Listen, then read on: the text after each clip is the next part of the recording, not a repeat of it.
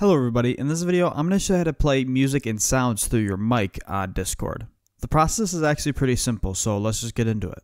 So as you probably already know, Discord has their own built-in soundboard that you can use, but the sounds on them can only be like 5 seconds long.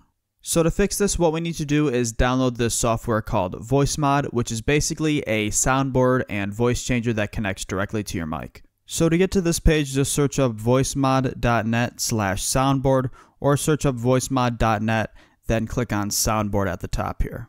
And then now go ahead and click on get soundboard. You'll then need to create an account for VoiceMod, but once you do that, the download should start. Next, go ahead and open up the VoiceMod setup and complete the install process. During the process, they're going to ask you for an input and output device. You want to select the ones that you use on Discord. So when you open up VoiceMod for the first time, it'll look something like this. It'll show you a couple of free voices you can use with the voice changer, but we want to use the soundboard, and to get to there, you just want to click on this little lightning bolt icon that says soundboard. Now here we are on the soundboard. As you can see, we have three free sounds already. If I wanted to use them, I could just click on them. But to go ahead and add your own sounds, you want to come down here and click on Browse Files. Now before you go and add a meme or a sound, you want to make sure that it is either in MP3 or WAV format here. I'm going to go ahead and add a song to the soundboard, so I'm going to click Browse Files, click on Music, and now I'm going to go ahead and add one of these songs I got. I'm not going to show you how to download any music in this video, but if you go and search it up on Google, it should be pretty easy to find out how. So here's the song I just added. If I go ahead and click on it, the music will start playing. And to turn it off, you just want to click on Stop Sounds. If you don't want to have to click on the music to play it and then click on Stop Sounds to stop it, you can add keybinds to do those two different things. So right now I have my song selected and if I come and look over at the left side, we have a couple options here.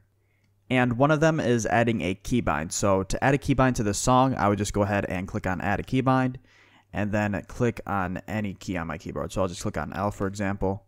You also want to make sure that keybinds is turned on at the top. And now if I go ahead and hit L, it'll start the song, but I still have to go over and click on Stop Sounds. To create a keybind to stop all your sounds on the soundboard, you want to go and click on Settings, come to Keybinds, and now all the way at the bottom here is where you can add a keybind to stop all the sounds. So for example, I'll make this K. So now with those two keybinds set, it's really easy to start and stop my sound. One last thing I want to show you before we set our soundboard up in Discord is VoiceMod Tuna. To access that, we want to go to the top right corner and click on this blue Tuna button.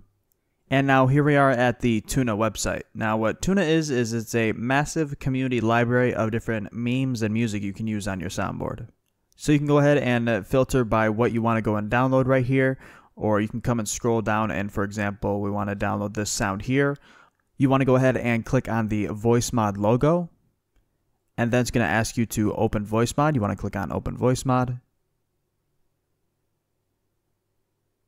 and then it'll ask you if you want to add this to your soundboard alright so now here we are in discord and to go ahead and use VoiceMod as our mic we want to come down here and click on user settings then come click on voice and video and then at input device, you want to go ahead and select the VoiceMod virtual audio device. We also need to scroll down and change some more advanced audio settings, such as you want to disable automatic uh, input sensitivity and put that at a lower number.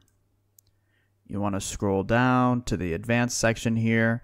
You want to make sure that echo cancellation is off. You want to make sure noise suppression is at none. You want to turn off automatic gain control. You want to make sure attenuation is all the way at the bottom. And then you also want to turn off when I speak and when others speak. So that's pretty much it. You can join any Discord server and you can play music and sounds through your mic using VoiceMod.